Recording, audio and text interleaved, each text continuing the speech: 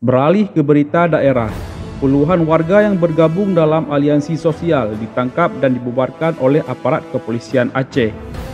Berdasarkan pantauan, aksi tersebut diikuti ribuan warga yang bergabung dalam aksi tersebut. Warga berencana melakukan aksi demonstrasi menolak PKPM 4 yang diperpanjang oleh Presiden Republik Indonesia Joko Widodo. Warga Aceh menolak penyekatan jalan dan perpanjangan pelaksanaan PPKM level 4 di seluruh Aceh.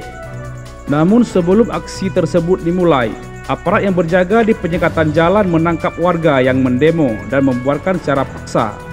Aparat kepolisian yang berjaga di sana langsung menangkap paksa dan menyeret warga yang melakukan demonstrasi.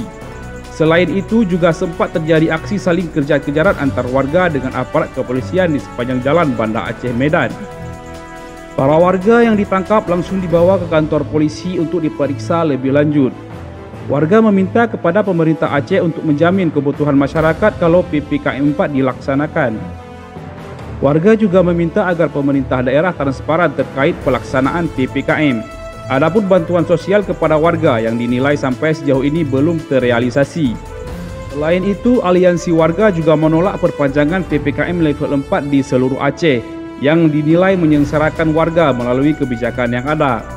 Warga meminta kepada pemerintah daerah untuk membuka kembali semua kafe dan kedai kopi untuk mengembalikan ekonomi masyarakat.